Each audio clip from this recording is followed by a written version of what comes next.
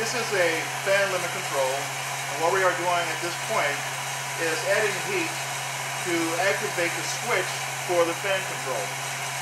As this valve turns, by receiving heat from this uh, hot air gun, it is moving the dial, and soon it will close the contacts of this fan limit control. If the heat continues there's this side here, which is the limit side.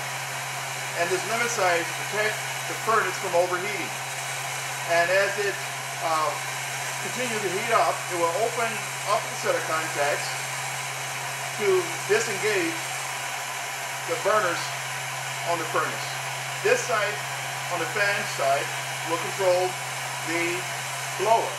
At this point, it is closing the switch because you're reading